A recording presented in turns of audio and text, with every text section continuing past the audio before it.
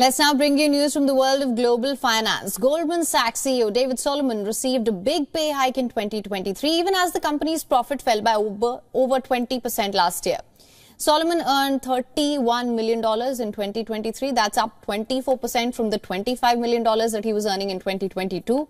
And Solomon's pay comprises a $2 million base salary, $8.7 million in cash, and 20.3 million in performance-linked stock. And the pay bump comes after the bank's profit fell 24% to $8.52 billion in 2023. Solomon's peers on Wall Street too got major hikes last year. Morgan Stanley's former CEO James Gorman took home $37 million compensation in 2023. His total pay package rose 17% from the $31.5 million in 2022. Gorman's pay package was the highest for any major banker last year. Moreover, three quarters of his bonus was paid in equity and deferred over three years.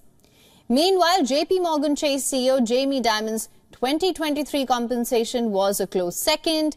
Dimon's pay package climbed about 4.3% to $36 million in 2023. 2023 pay package also included a base salary of $1.5 million and a 34.5 million bonus. And his bonus comprised $5 million in cash and 29.5 million in stock. For latest news, download the WION app and subscribe to our YouTube channel.